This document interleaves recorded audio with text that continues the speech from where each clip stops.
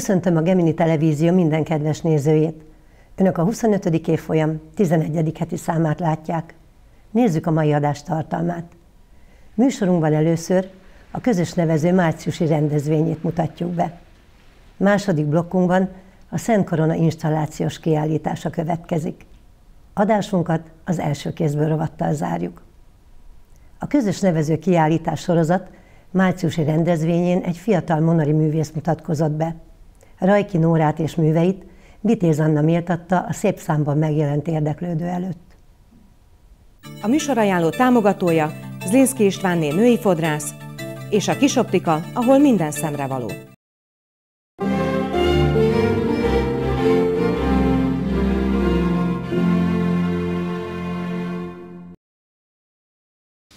Nagyon sok szeretettel köszöntöm Önöket a közös nevező kiállítás sorozatunk márciusi kiállításának megnyitóján.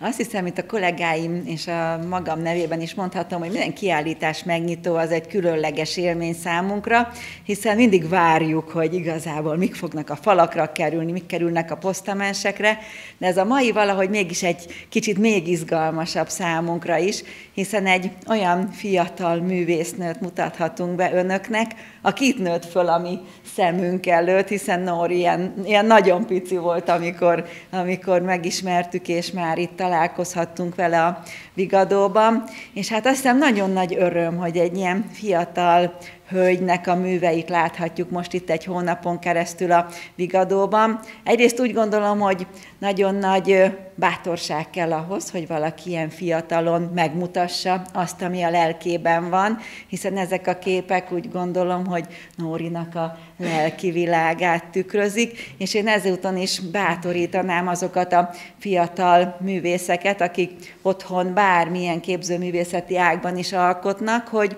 nyugodtan, bátran keressenek minket, jönnek el hozzánk, és bízunk benne, hogy esetleg majd másnak a képeiből is egy ilyen nagyon szép kiállítás állhat össze, aminek itt most, amit most itt Nóri és a kollégáim összeraktak erre az egy hónapra. Úgyhogy én nagyon szépen köszönöm Nórinak, hogy megbízott minket, megbízott bennünk azzal, hogy ezeket a képeket itt megmutatja nekünk, illetve azoknak, akik majd eljönnek a kiállítást megnézni.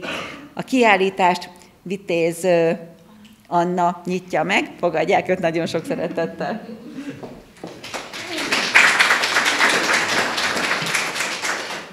Nagyon sok szeretettel köszöntök mindenkit, aki eljött Rajkinóra, a Világom című kiállítására.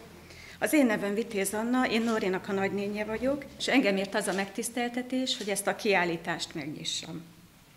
Be kell vallanom, hogy mind engem, és mind a családot, rokonságot, ismerősöket nagyon meglepte, hogy Nóri festményeiből kiállítást rendeztek, ugyanis senki nem tudta róla, hogy az évek alatt ő ennyi képet festett. Ebből is látszik, hogy egy olyan személyiséget ismerhetünk meg Nóriban, aki szép csenden félrevonul, bezárkózik a saját kis világába, festegeti a képeit, nem nagy hangot adva az eseménynek, majd egyszer csak gondol egyet, feláll az ugródeszkára és elrugaszkodik. Megmutatja az egész világnak, hogy ki ő, mire képes, milyen az ő világa. Pedig higgyék el, ehhez az elrugaszkodáshoz nagyon nagy bátorság kell.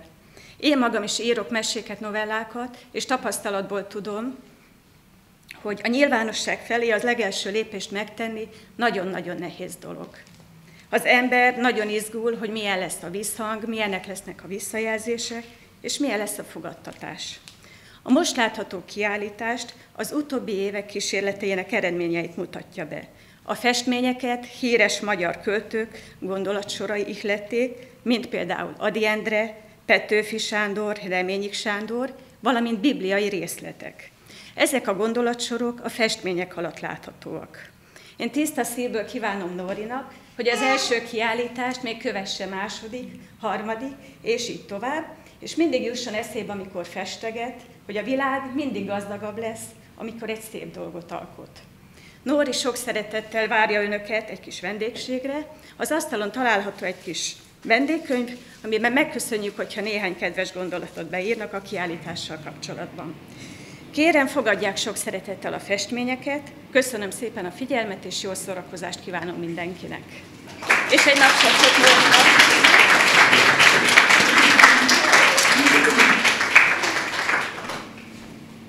Ja, és fogadja szeretettel a művésznek a pikletésségét, bátorságát.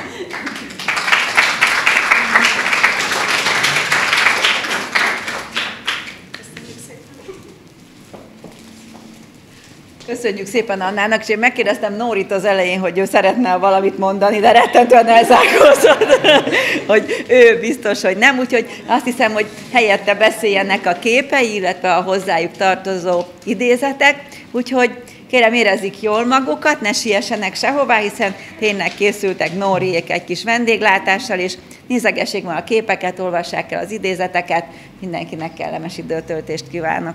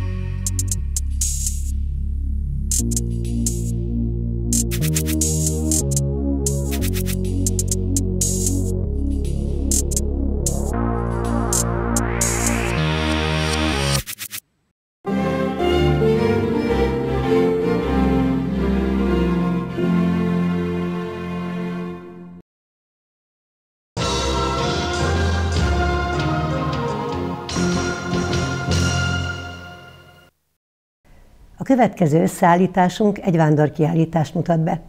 A Szent Korona installáció már jó ideje járja az országot, hogy információkat juttasson el a közönséghez a magyarság jelképével kapcsolatban.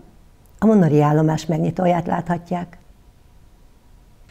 Nagyon sok szeretettel köszöntöm kedves vendégeinket, akik megtisztelnek minket jelenlétükkel a mai kiállítás megnyitón. Külön tisztelettel köszöntöm Szabó István urat, Pest vármegye közgyűlésének elnökét.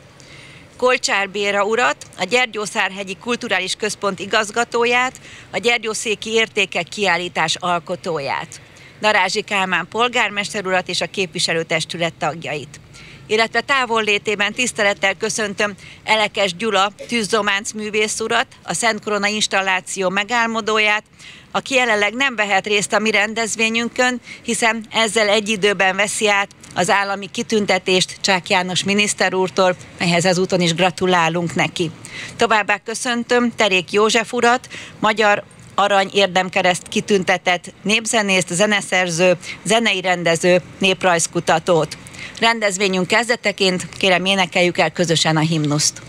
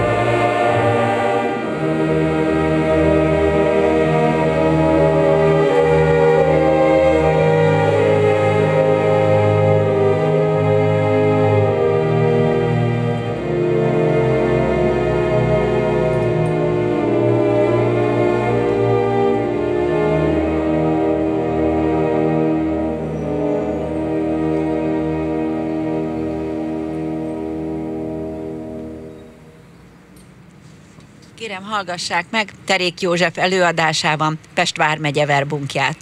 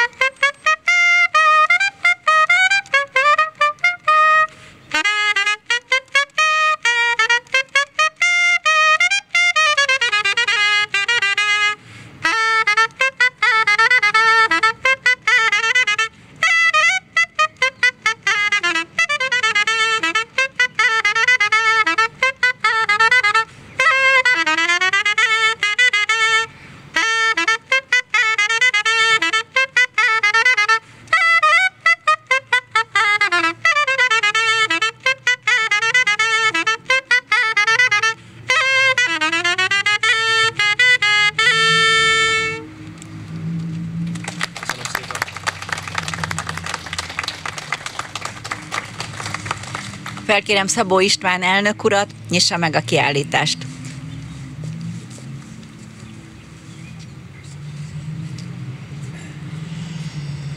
Jó napot kívánok! Tisztelt polgármester úr, hölgyeim és uraim! Először is köszönjük, hogy elhozhattuk ide ezt az installációt. Elhozhattunk egy olyan különleges dolgot, amit én megmondom őszintén, ha bár hosszú ideje vagyok már fiatal, de még nem láttam. Amikor első alkalommal Elekes Gyula barátom, művész úr megmutatta nekem, hogy ezt, hogy mit, mit alkotott, akkor megfogalmazódott bennem az a, az ötlet, hogy ezt el kéne hozni Pest megyébe. Meg kéne mutatni a Pest megyei közösségnek.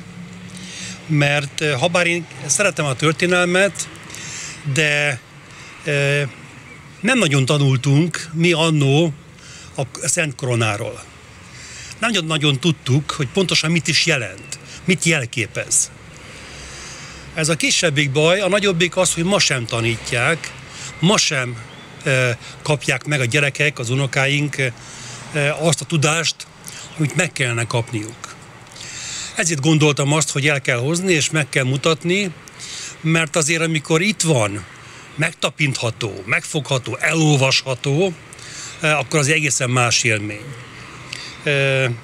Én, ha parlamentben van dolgom, ügyem, minden alkalommal megállok a korona előtt.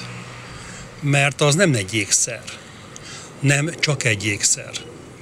Az, az egy sokkal magasabb rendű, magasabb fokú történet, üzenet.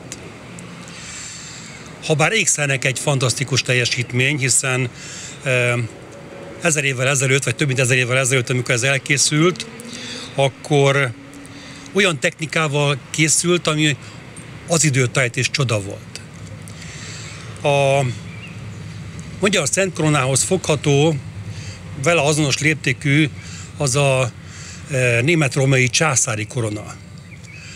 Azon négy darab e, tűzdománc kép van. Ezen 27 tűzdománc kép van.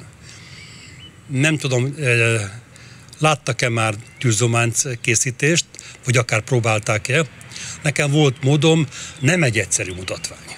Az egy nagyon komoly tudást, szakmai tudást, művészi tudást igényel, és ez a korona 27 ilyet tartalmaz. 19 figurálisat, és 8 non-figuratív tűzománcképet. De mi is a Szent Korona? Mitől szent? Attól, hogy olyan király fejére tehetik, teszik, aki apostoli király. A magyar királyok azok voltak.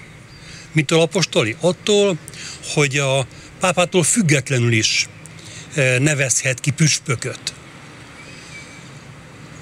A Szent Krona az beavató korona. Tehát csak akkor kerül a király fejére, amikor megkoronázzák. És azáltal lesz magyar király. Magyar történelem ugye elég e, viharos volt, és elég e, sok mindent e, megéltünk. E, megéltük azt is, hogy e, Betlen Gábor aki egy zseniális politikus volt, erdélyi fejedelem, néhányszor legyőzte a habzurókat, nála volt a Szent Korona, és választott magyar király volt. De nem koronázták meg, hiszen a koronázás az három elemet kell, hogy magába foglaljon. A korona, Szent Korona, a másik, hogy a, az esztergomi érsek, a bíboros kell, hogy a fejére tegye. Ha éppen valamiért nincs, akkor a kalocsai. És a harmadik az, hogy Fehérváron kell megkoronázni. Ez a legkönnyebben e, átléphető dolog, hiszen Pozsonyban 1561-től koronáztak, mert hogy nem lehetett Fehérváron koronázni a török miatt. Tehát ez a korona nem csak annyi, hogy valakinek a fejére tesszük, ennek a szakralitása van meg. És mitől uh, Szent Korona? Attól, hogy a magyar nemzet egységét fogja össze. Ő a legfőbb hatalom ebben az országban.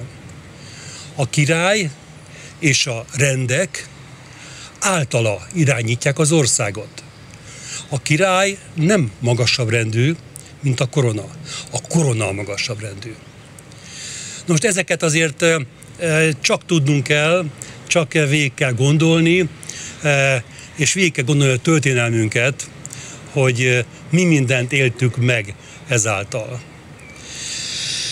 Én azt gondolom, hogy a világ halad, megy a maga útján, de az azért jó, hogyha van valami, ami rendet tesz körülöttünk.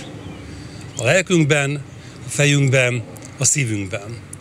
És a Szent Korona erre alkalmas.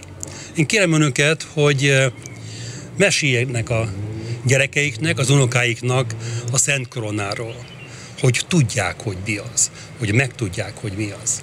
És hozzák el, és mutassák meg egyébként egy csodálatos ékszer is. Még egyszer kívánom önöknek, hogy, hogy ezt éljék meg, ezt a pillanatot, és minél többen jöjjenek és nézzék meg a Szent Koronát. Köszönöm, hogy meghallgattak.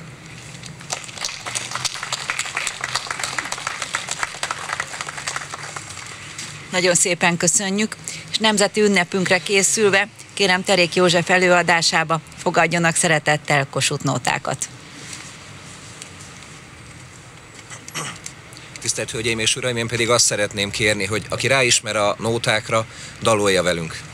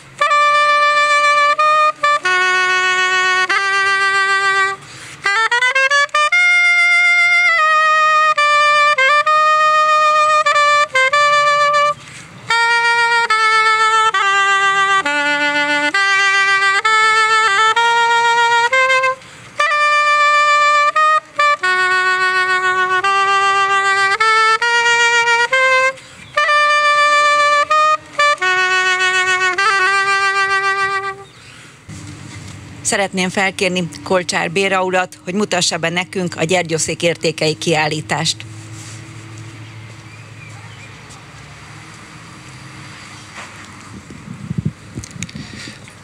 Nagy-nagy tisztelettel és szeretettel köszöntöm Önöket. Tisztelettel köszöntöm elnök urat, polgármester urat, képviselő urat és a kedves minnyájukat. mindenek előtt engedjék meg, hogy köszönetet mondjak a lehetőségért, hogy itt lehetek, hiszen Pest vármegye és Hargita megye testvérmegyék, és elnök úr jó voltából nagyon az utóbbi időben nagyon szoros kulturális kapcsolat van a két testvérmegye között, és ennek nagyon örvendünk, hiszen Tudjuk azt, hogy az együvé tartozásnak a megélése az fontos mindannyiunk számára. Hát március 15-ét ünnepelünk, és tehát 1848-ban ugye a magyar nemzet is, mint a Erdély, illetve Európa többi nemzetei a szabadságért küzdöttek, és a magyar szabadságharc volt a legeredményesebb, a leghosszabb ideig tartó harc igazából, és amint tudjuk, egy nagy hatalmak összefogásának az eredményeképpen sikerült csak leverni a magyar szabadságharcot, és azt hiszem, hogy mai napig ennek a szabadságharcnak mai napig is üzenete van, hiszen azokat a nemzeti értékeinket, amelyekkel rendelkezünk, azt mai napig meg kell harcoljunk érte, és úgy gondolom, hogy ilyen formán nem véletlenszerűen kerül be a, a program, került be a programba, és köszönöm szépen polgármester úrnak, hogy meghívtak a gyergyószéki értékeink kiállítással erre az ünnepre. Hiszen ha azt vesszük most már a magyar általánosságban, hogy a magyar népdal, több mint 200 ezer feljegyzett népdal létezik, de majd ha megnézik a kiállítást, a gyergyószéki értékeink kiállítást, és egyik fotón felfedezik a, a gyergyói építkezésre jellemző, de nem csak a gyergyói, hanem a, az erdélyi magyar építkezésre jellemző a deszkabevágásos díszítés, amelynek jelen pillanatban könyvbe foglalt változatában több mint 4000 díszítő elemet foglaltak össze. Vagy a, jön a húsvét, a húsvéti tojásírási mintáknak több mint 1500 változatát jegyezték fel, akkor úgy gondolom, hogy az a hihetetlen érték, amivel a magyarság rendelkezik, azt igenis meg kell tartsuk, és tovább kell adjuk, hiszen azt a hihetetlen gazdagságot, amivel rendelkezünk, azt nem szabad, nem szabad el kótyavetélni, nem szabad el lemondani róla, hiszen elődeink nem véletlenül harcoltak ezért.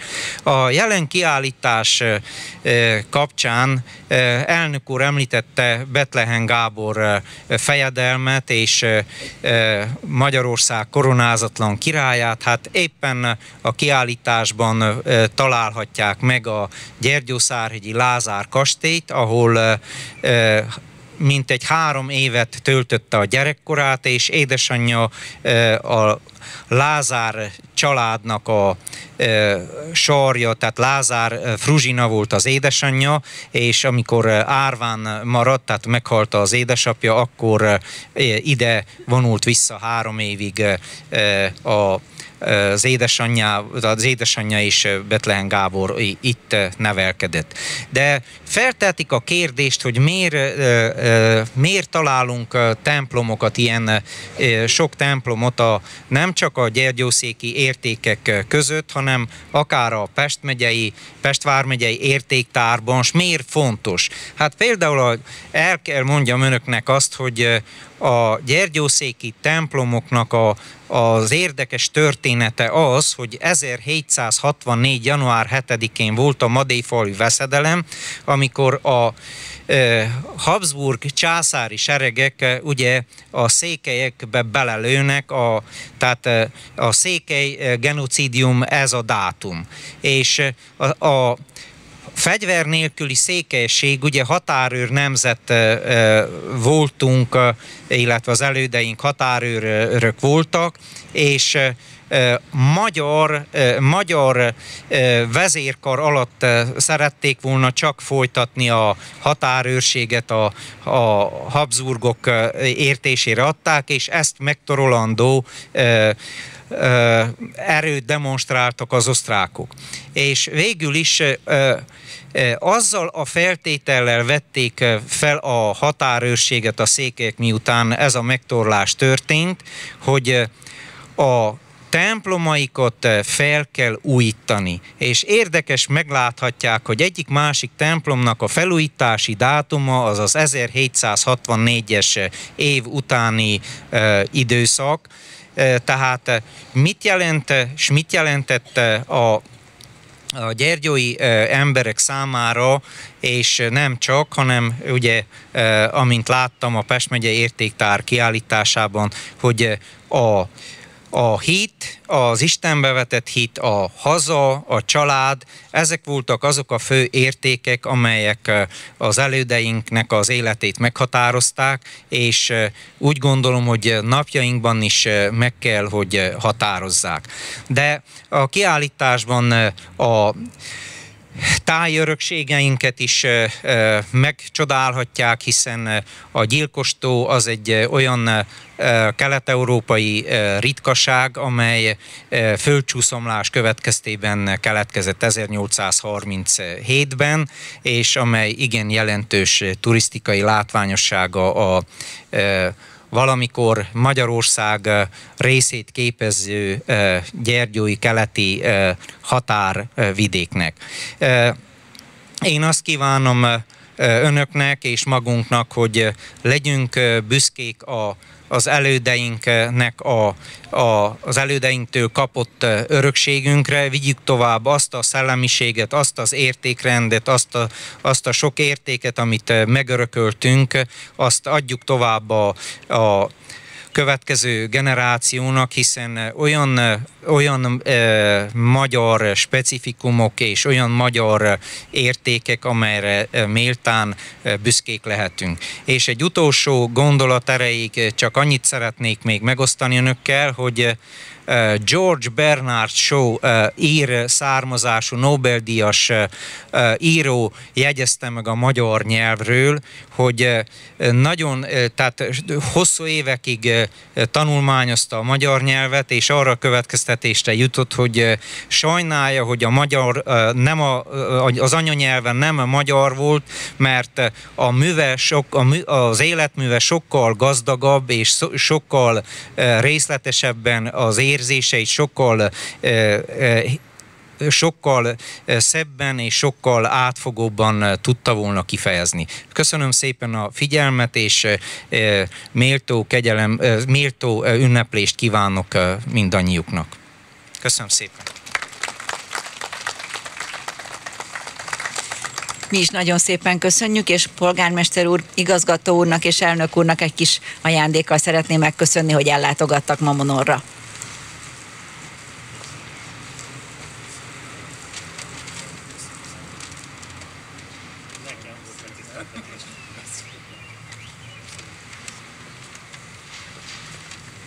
Már a mai napon is láttuk, ahogy erre jöttünk, hogy több iskolai osztály is látogatta a kiállítást. Bízunk benne, hogy az elkövetkezendő egy hónapban minél többen jönnek és olvassák el a Szent Koronán feltüntetett információkat is, illetve a gyergyószék értékeiről is minden többet megtudnak a kiállítás megtekintésével.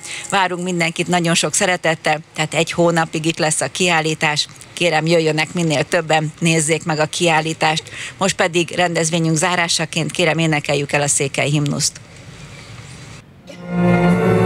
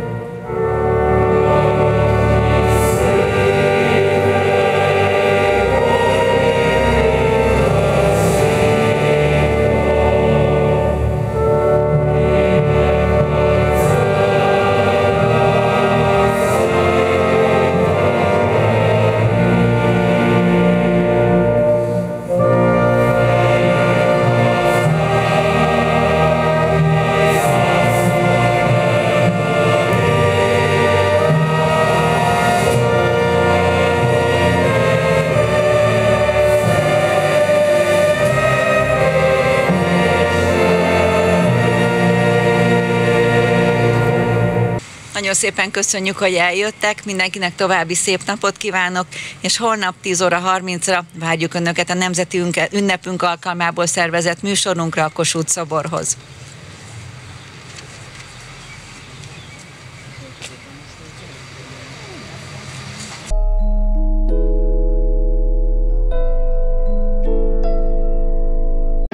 Senki sem szereti, ha lassú a net. Ezért új ügyfeleinknek megduplázzuk az otthoni internetcsomagok sebességét. Hogy ez mit jelent? Gond nélkül megy a távmunka. Hogy az online kurzusod nem áll le. Hogy a küldetés nem fagy le. Magyarul úgy pörög az otthoni net, ahogy te akarod. Pörges te is dupla sebességgel. A net elcsomagáráért most kétszer olyan gyors gigabit netet adunk. Vodafone.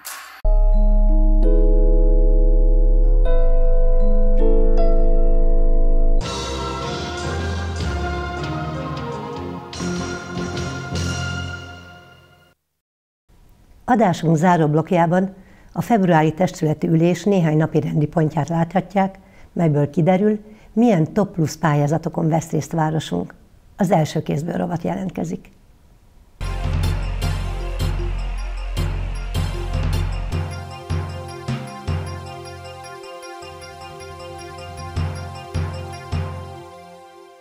Tizenkettes napi rendi pont, top plusz pályázatokkal kapcsolatos döntések.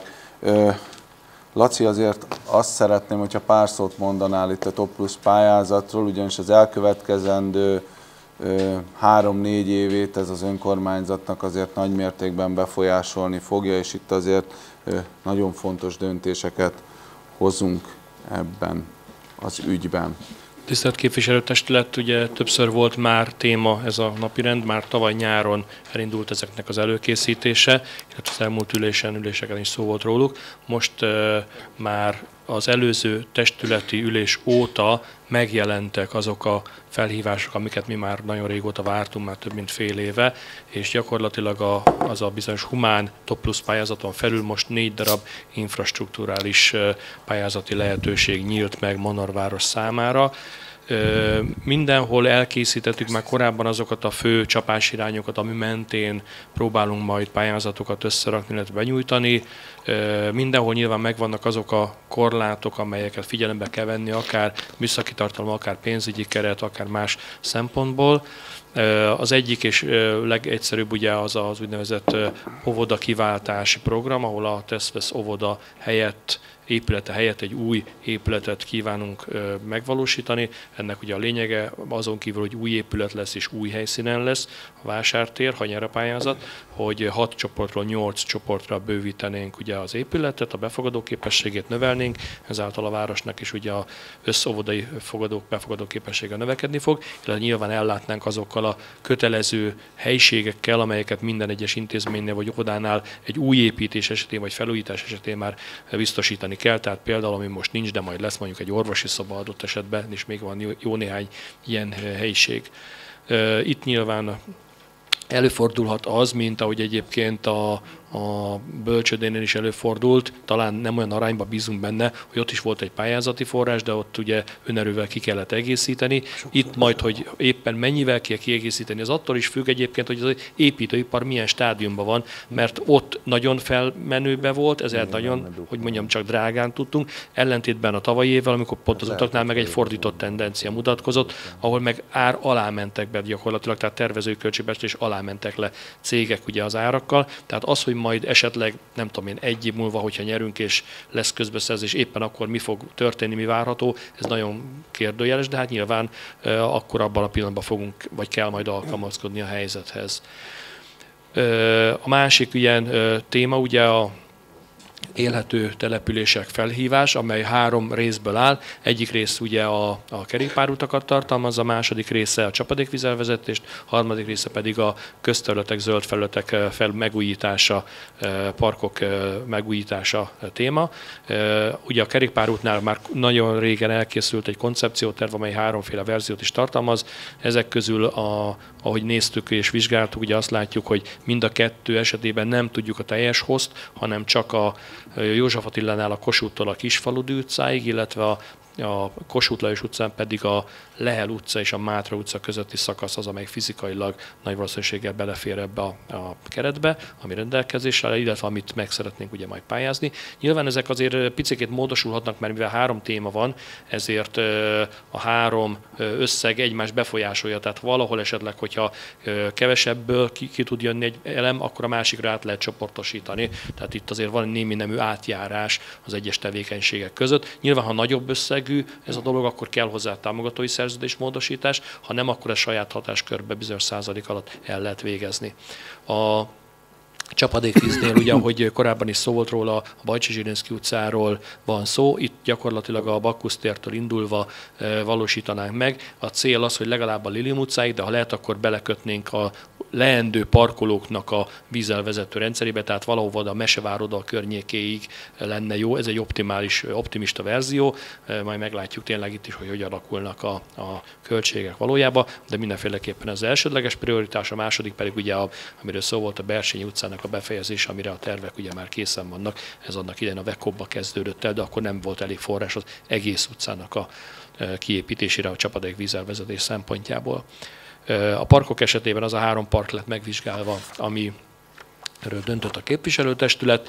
Itt a legnagyobb valószínűleg a, a vásártéri lenne, ez egy zöldmezős beruházás, ott nincsen azon a placon jelen pillanatban semmi szinte, tehát még talán egy bokorser nagyon. Néhány falet ültetve ott a Dózsa György utca mellett, ami a legszélén van ugye a területnek, de itt jelentős növénytelepítés van betervezve illetve ami még nagyon fontos és lényeges ebben az esetben, hogy ott van egy akkora terület, ami beépítésre van jelenleg szánva, amit mi zöld felület növelésre szeretnénk használni, hiszen úgy is lesznek olyan projektelemek, amelyek csökkentik önmagukba a zöld felületet, hiszen bármit, amit telepítünk, akár egy gumiburkolat, akár egy aszfaltos pálya, vagy egy biciklipálya, úgy nyilván ezek csökkentik, de összességében, hogyha ezt a beépítésre szánt területet hozzárakjuk a zöld felülethez, a parkhoz, akkor igazából nem csökken, hanem jelentősen több ezer négyzetméterrel növekszik akkor a zöld felület, akkor ezen projektek esetében, vagy ezek projektek hatásaként. Itt mind a három parknál megnéztük, mik a fizikai lehetőségek, és gyakorlatilag egy elemet vennénk ki még ahhoz képest is, ami, ami le van írva, vagy ami az előterjesztésben benne van, mégpedig ez a, átgondoltuk is, ez azért ez folyamatosan változik, hiszen mindig, ahogy jönnek a, a szakmai észrevételek, költségek, azért ezek befolyásolják a, a részleteket adott esetben, tehát jelen pillanatban ott tartanánk, hogy a, a futókört azt kivennénk ezekből, mert fizikailag egy olyan kis méretű futókört lehetne csak kialakítani, még kisebb lenne, mint a sportpályának a futóköre, ami nem annyira izgalmas mondjuk a futók számára, ezért az annak a megvalósításával, költségeivel akkor jelen pillanatban valószínűleg nem is számolnánk, mert egyébként pedig az első becslések alapján, amit mi kalkuláltunk, amit mi gondoltunk, erre annál picivel magasabb lett összességében, és ezzel a futókör kivételével egyébként meg akkor pont beleférnénk abba a keretbe, amit mi első körbe gondoltunk ezekre a parkokra. Mindenhol játszóeszközök is lennének természetesen, illetve ahol lehet sportolási felületeket, illetve sportolási eszközöket is telepítenénk, ahogy a előterjesztésben benne van. A következő elem ugye a energetikai korszerűsítés, ahol alapvetően két épület lett kiemelve, az egyik a Vigadó épület, a másik a könyvtárzeneiskola épülete. Mind a kettőben van bőven beavatkozási pont és beavatkozási lehetőség, ami a legfontosabb és kötelező ugye az a megújuló energiáknak az alkalmazása, minimum kettőt kell alkalmazni, ez jelen esetben napelemet, illetve hőszivattyút jelent, és ez mind a két épület esetében cél jelen pillanatban. Ebben is a részleteket, illetve folyik az egyeztetés ugye az energetikusokkal, és ezen kívül a ahol kell és lehetséges például hőszigetelést is tervezünk, például a, a Vigadónak a födém hőszigetelését, illetve ott, ahol a városképi megjelenés nem befolyásolja, tehát akár egy belső udvari részen adott esetben ott is meg lehet vizsgálni a hőszigetelést. Az utcai részen az semmiféleképpen sem, mert az helyi védettség alatt áll, és annak a hozzányúlása az lehet, hogy kicsit több kárt okozna, vagy nem tudom, hogy többe kerülne, mint amennyi hasznot. Viszont mind a két épületben világítás korszerűsítés is lehetséges, lehetséges, tehát ugye a ledes lámpák, égőkre való átállás ott, ahol ez megvalósítható, illetve a Vigadónál nyilászáró cserék is ott, ahol lehetséges nyilván, ahol nem, mert vannak olyan épületrészek, azt ki kell hagyni, de ahol lehet, ott szintén a megfelelő stílusú nyilvánzáró cserét szeretnénk belerakni, illetve fűtés korszerűsítésnek most már a korábbi pályázatokkal ellentétben itt a belső elemeit is engedi, tehát akár egy radiátor cserét is már bele lehet rakni, vagy azoknak a kapcsolódó csővezeték hálózatát is lehet cserélni, amik már elavultak, és az új rendszerre való kiszolgálást biztosítják. Tehát itt azért sokkal több mozgásterünk van, mint a korábbi két-három energetikai pályázatunk, ami volt. Ott azért ezeket a belső dolgok nem engedték, most szerencsére ilyen szempontból nyitottabb a pályázat.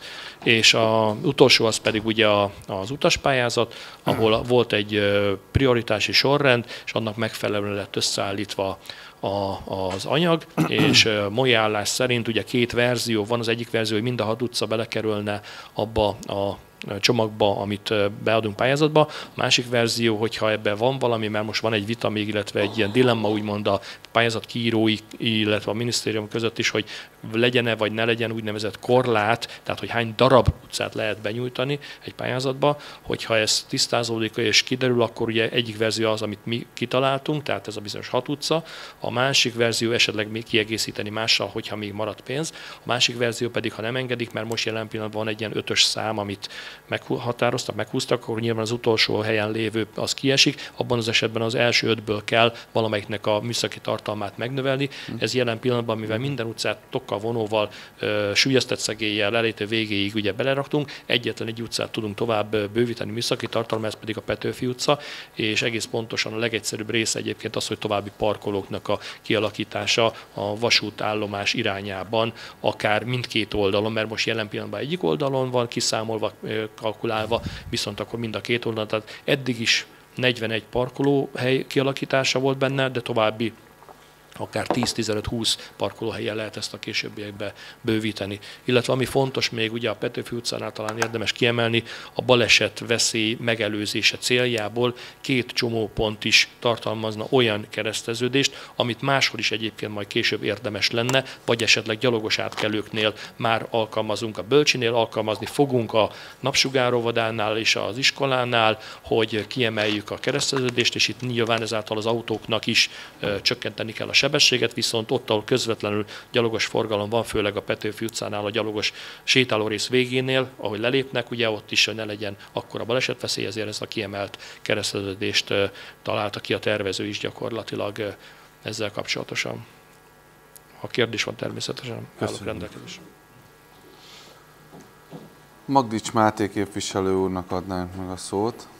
Köszönöm a szót, polgármester úr, tisztelt képviselő testület nagyon nehéz helyzetbe kerültem, mert ez egy nagyon jó pályázat, nagyon jó célokkal, viszont ugye, amit már eddig is jeleztem, ugye benne van a Tavaspartnak egy olyan fejlesztési terve, amely keretében a pumpapálya 200 négyzetmétert venne el, itt van még a, a pingpongasztal, ez a tekbalasztal, erre is rá kellett keresnem, mert ezt megvalom őszintén, sem tudtam, hogy micsoda. A játszótér játszóeszközök az, az természetesen tök jó utcabútorok, és itt van még egy fix épített színpad plusz elektromos kiállás. Ez is hány négyzetméter lenne? Mert összességben 5500 négyzetméterrel bővül városszerte a zöld felület, viszont ez elég nagy vágásnak tűnik nekem a, a Tavasparknak a, a kárára. Itt készült számítás, hogy körülbelül mennyi jönne le belőle? Mert Le van írva, benne van az anyagban. Tehát a 200 négyzetméter az a pumpapálya. És a többi?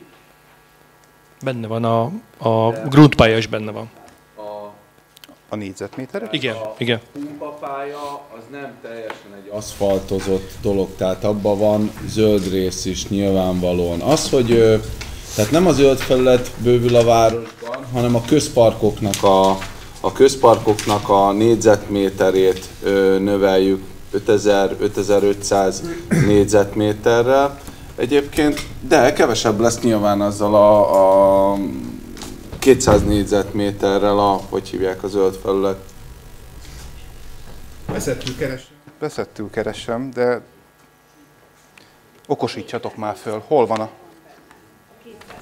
Na ezt, ezt kérdezem, hogy ez, ez, ez csak a pumpapálya, és akkor hol van, hol van a többi, hogy mennyi lesz még elvéve? De miért a, a pumpapálya az nem 200 négyzetméter, az összpumpapályának a négyzetméter az 400 négyzetméter volt, hogyha jól emlékszem. Vagy 500, igen, igen, igen. Tudom, ezt, ezt, ezt talán sikeresen értelmeztem, hogy az aszfaltos felett 200 négyzetméter. Uh-huh. Ez, ezért mondtam, nem azt mondtam, hogy ez 200 négyzetmétert fog elvenni, ez 200 négyzetméter az Akkor a színpadnak kéne a területe, hogy... A színpad, a többi pálya, vagy konkrétan az lenne a kérdésem, hogy mi marad a tavasparkból, és ezért kezdtem ezzel, hogy nehéz zöldés elé állítottatok, mert amúgy, amúgy meg tök jó az egész. Csak a szívemnek kedves tavaspark, pont csattan az ostor nekem úgy tűnik. De elnézést, hogyha bárkit is megzavartam kérdésemmel. Köszönöm. Nyilván ugye azért lett leírva és azért kezdeményezzük a területnek az átminősítése vásártéren, hogy a három parkba összességében ne csökkenjen, hanem összességében nőjön a zöld felület jelentősen, több ezer négyzetméterre. Tisztában vagyunk vele, bármit lerakunk, és az alá akár burkolat kerül, akár önmagába burkolatot tartalmaz, az csökkenti a zöld felületet. De a városi szinten nézzük az egészet, akkor növekszik több ezer négyzetméterre a zöld felület. Most akár egy 20-30 négyzetméteres színpadról is, hogyha beszélünk, vagy beszélhetünk egy szintén mondjuk egy 150-200 négyzetméteres grundpályáról, az még jelentősen kevesebb, ha mindet összeadjuk, ahhoz a közel 6000 négyzetméterhez plusz zöld felülethez, amit létrehozunk a vásártéren. Amit én szeretnék mondani, hát nyilvánvalóan, hogyha új, új beruházás és új, új eszközök, vagy mondhatjuk úgy, hogy új tartalommal töltjük meg a, a tavasparkot, az nyilván a zöld felületnek a kárára fog lemenni minden tekintetben. De én azt gondolom, hogy ezek, ezek, ezek olyan dolgok, amivel ö, olyan korosztályoknak találjuk meg ott a szórakozási lehetőséget, amire eddig nem, nem, volt, nem volt mód. De valóban, Máté, amit, amit mondasz, az az, hogy valamivel csökkenni fog a maga a zöld felületnek, a, a, a zöld felületnek és úgymond a burkolt felületnek az aránya. És akkor Péter, megadnám neked a szót. Köszönöm szépen, tisztelt polgármester úr, tisztelt képviselőtestület. Ez egy nagyon jó anyag. Drukkolok, hogy megvalósuljon minél előbb. Ennek van egy önrésze, ezt ki, tudjuk, hogy mennyi lesz ennek az önrésze? Ez Igen, tudjuk. Hogy mennyi? Igen, nulla forint. Nulla forint, akkor az jó. Az jó. Kerékpáros pumpapálya, bár Magdics képviselőtársam már túljárt ezt, én nem igazán a kis gondoltam. A Bakhusz téren ott nagyon jó helye lenne, ott van hely. És még egy kérdésem lenne, a Bakhusz tér mellett a szikasztó kialakítása ez milyen mélységű lenne, meg hogy néznek ez a szikkasztó Ez a, ugye az erdősáv és a Gép utca közötti Igen. hosszan elnyúló területről van szó. E, nagyon minimálisan mennénk le a talajba, nyilván azért, hogy nehogy véletlenül valamivel találkozzunk, amivel nem kell találkozni, és minél szélesebb és gyakorlatilag ottan egy, hát egy, nem tudom, 20-30 méter mély, hosszúságú rész, azt hiszem, ami mélységére vagyok. Mélység, mélységét most nem tudom megmondani, ezt majd a tervező fogják pontosan megtervezni. Ezt csak azért kérdezem, mert annak idején, mikor a Pakhusztér fásítva lett, ott volt egy kis probléma a környezetvédőkkel, és azt mondom, hogy ennek a figyelembevételével át igen. gondolni, hogy milyen mélyre mennek. Tájékoztattuk a tervezőt erről, igen. Ha probléma lesz vele esetleg, a útnak a túloldalán is van egy nagyon nagy önkormányzati terület, most szedték le róla éppen a kerítést, mert valaki úgy gondolta, hogy bekeríti és ott is esetleg, hogyha valóban az van, amit a Péter mond, és ott mondjuk nem lehet kialakítani ezt a szikkasztó részt, akkor esetleg át lehet vinni az útnak a túloldalára. Egyébként azért van szükség ezekre a szikkasztókra, meg azért van ezekre a küszöbökre is szükség ugye a, a vízelvezetésre, mert a pályázatnak része a vízmegtartó képesség is. Egyébként már itt a parkolónál is odafigyeltünk arra, ennek a parkolónak a tervezésénél is, hogy olyan térkővel lett kialakítva mind az úttest, mind pedig a parkoló rész, hogy magának a talajnak a vízmegtartó képességét megőrizze, mert szerintem 5-10 év múlva nem az lesz a problémánk, hogy hol vezessünk el vizet, hanem hogy hol találjunk majd. Péter, vissza. Köszönöm. Zöld területtel kapcsolatosan, a, aki végigolvasta az anyagot a fenntartató városfejlesztési stratégiában, ott remélem, hogy elírás, mert ott az van, hogy lakos számarányosan egy lakosra 6 négyzetméter zöld terület jut. Azért mondom, hogy remélem, hogy el van ez írva, mert a 60 is kevés, nem hogy a 6. Tehát az, hogy a zöld terület hogy növekszik, honnan számoljuk, hogy mennyivel lesz több, és honnan számoljuk, hogy honnan lesz kevesebb, mert a zöld terület az egy olyan dolog, hogy valahol van sok, de ahol kevés van, onnan nem kellene elvenni szerintem, tehát az arányokat kellene figyelembe venni. A kistóval kapcsolatosan pedig a kistói parkkal kapcsolatosan, tehát én attól tartok, hogy ha ez ott mind ott lesznek ezek az eszközök, akkor egy kicsit zsúfolt lesz, de hát ezt én nem tudom így most egyből megítélni, amíg nincsenek kész a fejlesztések. Köszönöm szépen. Jó, akkor a Máténak adnám meg a szót. Reflektálni, folytatni szeretném. Én annak örülök, hogy összességében növekszik a zöld felület, de én ezt az egészet arra hegyeztem ki, hogy az viszont nagyon nem tetszik, hogy a Tavas Park területe fog ilyen szempontból csökkenni. Az nem csak egy, egy zöld mező, tehát egy zöld felület, hanem ez egy park tóval, vadkacsákkal, fákkal, és hogyha ebből el szeretnénk venni, az nekem nem tetszik. Az egész tetszik, a pályázat, minden, egyedül az nem tetszik, hogy a tavasparkból akarunk elvenni. És úgy látom, hogy nem is keveset. Köszönöm. Miatt Szabolcsnak megadnám a szót, felhívnám figyelmet arra, hogy ez 9,5 hektár ez a terület. Én azt gondolom, hogy nem elveszünk, hanem hozzáadunk a tavasparkhoz. Nyilván én is itt nőttem föl benne, már 44 éve, ebbe az évben már 45 éve lesz, és gyakorlatilag az egész gyerekkoromat ott töltöttem el. Ez 14 augusztusáig egy olyan terület volt, aki, ami egy kicsit így a senki földje volt, tehát igazán nem, nem, nem volt gondozva. Azóta nőtt meg ennyire a, ennek a használatának az intenzitása. Én azt valóban, amit a Balog képviselő úr mond, illetve a Magdics képviselő úr is, hogy én inkább azt ö, tartom ö, majd egy érdekes dolognak, hogy mennyire lesz intenzív a kihasználása, mert azért, hogyha most hétvégente megnézzük, nem csak a monori lakosok használják, hanem a környező településről is ide jönnek, és valószínűleg ezek az eszközök tovább fogják ennek a a kihasználtságát növelni, amit nyilván a képviselőtestetnek kell mérlegelni, hogy ez, ez jó vagy nem jó. Én azt gondolom, nagyon jó dolog, hogy egy ilyen értékünk van a városba, de, de nyilván lehetnek, lehet, és, és hogy, és hogy tudjuk ezt fejleszteni. Egyébként nekem még lennének ötleteim más irányú fejlesztésekre is, de abban még egyelőre dűlőre kell jutnunk. Ö, megadnám a szót Csúzi Szabolcs képviselő úrnak. Köszönöm a szót, polgármester úr, tisztelt képviselőtestület. Két dolog lenne. Az egyik az, hogy a Bakusztérnél a csapadékvíz szikkasztással kapcsolatban nagyon gondolkodjunk el azon, hogy átvisszük az útnak a másik oldalára B-tervként, mert ott azért már pincék vannak, és ha nem is egy-két éven belül, de 10-20 éven belül akár megjelenhet ott az elszikkasztott csapadékvíz. Tehát azért csak törekedjünk arra, hogy az, e, az A-terv szerinti oldalon maradjon a szikkasztás. Én láttam ilyen rézsüket, amiről, vagy ilyen földmedencéket, amiről Laci beszélt, és szerintem gyönyörű tájelemeket lehet belőle csinálni, és megakadályozza azt is, hogy az autók átmenjenek ezen át a, park irányába. A másik pedig, a, megütötte a fülemet ez a 6 négyzetméter per lakos, én gyorsan kiszámoltam, hogy 19.500 lakossal számolunk most Madoron körülbelül, 6 négyzetméterről ez 11,7 hektár zöld felületet jelent. Hát én örülnék, ha ennyi lenne a városban. Több van? Hát akkor, akkor viszont teljesítjük. Egy lakosra. Így van. Tehát én ebbe, tehát nem mentem én bele különböző Jó, de ez a közpark felület. De egy lakosra. Az annyi. Szerintem ez szép számú alapvetően. Köszönöm.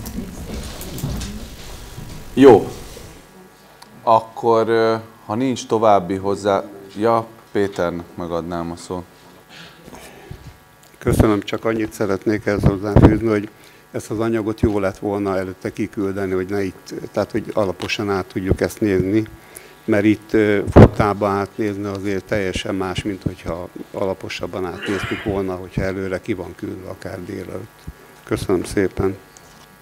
Azért ezeken a terveken, meg ezeken a, a leírt dolgokon még azért, ahogy a Laci is elmondta, lesznek változások, lesznek finomítgatások, tehát ez még nem a, a végleges. Egyébként, ha jól emlékszem, előző testületi ülésen is azért ö, szó volt róla, nem is volt ennyire konkrétan leírva, de azért úgy nagyjából ö, megvoltak azok, hogy, hogy mik lennének az irányvonalak.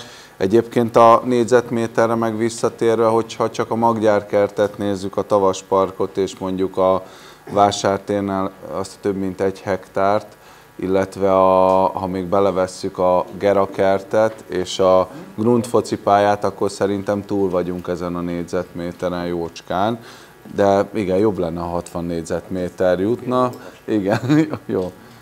Mát, Magdics Máté képviselő úrnak adnám meg a szót. Kértem, hogy akkor ez nincs kőbevésve, ez tud még változni, hogy a, mondjuk a tavas parkból valamennyivel kevesebbet vegyünk el, vagy ez így marad, mert akkor én nem nagyon tudom, hogy hogy szavazzak. A előzőre először hadd reflektáljak, tehát nyilván nem azért nem lett kiküldve, mert titkolta bárki is, vagy nem akartuk, hogy a képviselők ezt előre lássák. Egyszerűen napi szinten gyűltek és változtak az információk, eh, hamarabb nem volt rendelkezés, nem állt össze a történet, sőt igazából mondom, még tegnapi nap is ígérték, hogy az IH-tól fogunk kapni állásfoglalás bizonyos kérdésekben, még nem érkezett meg, tehát ez még akár holnap, holnap után, jó holnap után nem, de jövő héten is még lehet, hogy lesznek olyan dolgok, ami miatt esetleg valami változás lesz. Az első változás az mi magunk kezdeményeztük ugye a futókörnek a kivételét. Alapvetően a koncepcióba már másban nem nagyon nyúlnánk bele, ha nem muszáj. Nyilván ugye már elindult a projektnek a felépítése, helyszíneket, költség szempontjából, sok minden szempontból, tehát ezen dolgozunk, de ez mi nyilván időt vesz igénybe. Egyébként is rövid idő áll rendelkezésre az egész pályázatra, tehát minden nap alakítjuk és dolgozunk vele, illetve a külső szakértők bevonásával alakítjuk, tehát kedre sikerült összerakni, tehát ez tény és való, tehát ezen nincs mit titkolni. Február 1-én jelent meg maga a pályázat, valamikor több hónapot adnak egy pályázat benyújtására, most igazából egy-másfél hónapunk van az összesre, egyszerre párhuzamosan négyel, tehát azért ez azért embert próbáló a mi szempontunkból is, úgyhogy elnézést, hogyha valakinek ez probléma, hogy most ez helyben lett csak kiosztva. A, az, hogy mennyire végleges vagy nem, szintén azt már ugye említettem. Nagyon nem szeretnénk strukturálisan már belenyúlni, megváltoztatni.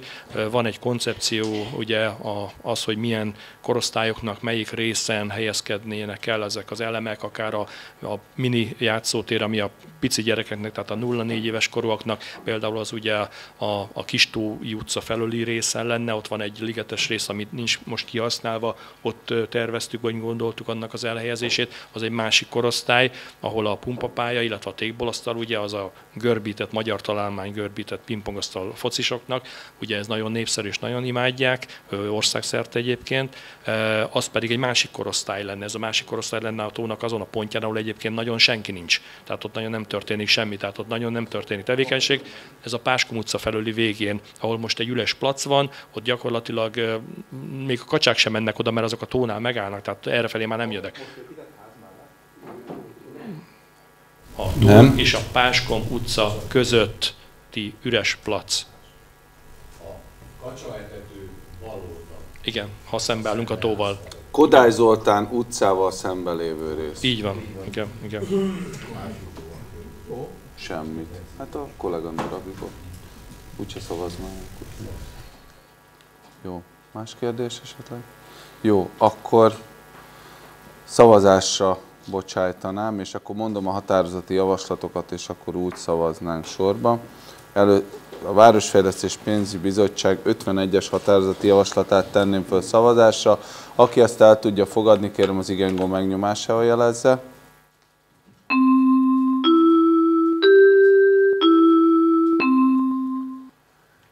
11 11 igen szavazattal, egy tartózkodással a képviselőtestet elfogadta. 52-es határozati javaslatról szavaznánk. Aki el tudja fogadni, kérem az igen gomb megnyomásával jelezze.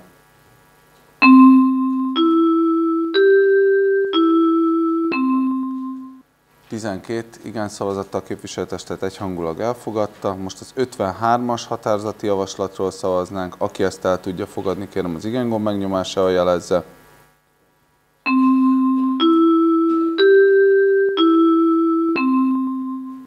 Tizenkét igen szavazattal a képviselőtestet egyhangulag elfogadta.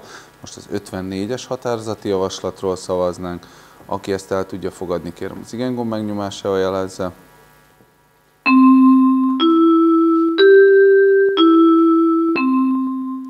12 igen szavazattal a képviselőtestet egyhangulag elfogadta. Most az 55-ös határozati javaslatról szavaznánk. Aki ezt el tudja fogadni, kérem az igen gomb megnyomásával jelezze.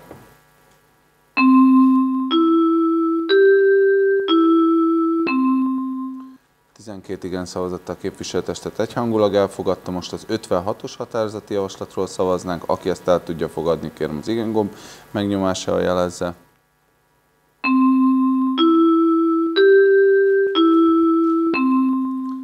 12 igen szavazattal képviselőtestet egyhangulag elfogadta. Most az 57-es határozati javaslatról szavaznánk. Aki ezt el tudja fogadni, kérem az igen gomb megnyomásával jelezze.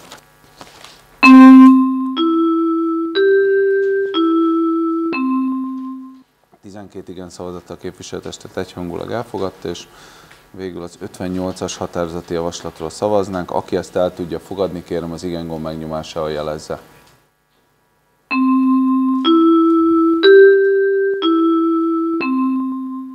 12 igen szavazattal a képviselőtestet egy hangulag elfogadta.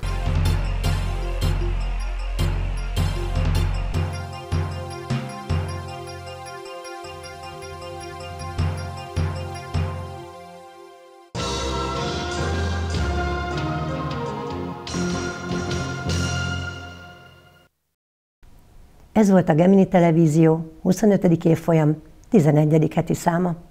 Adásaink továbbra is a megszokott időpontokban láthatók.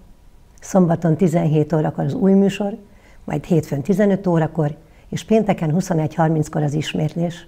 Kérjük, kövessék nyomon és segítség munkánkat, iratkozzanak fel YouTube csatornánkra, ahol HD minőségben is megnézhetik a beszámolókat. Elérhetőségeink változatlanok. Telefonszámunk 0629 413 511.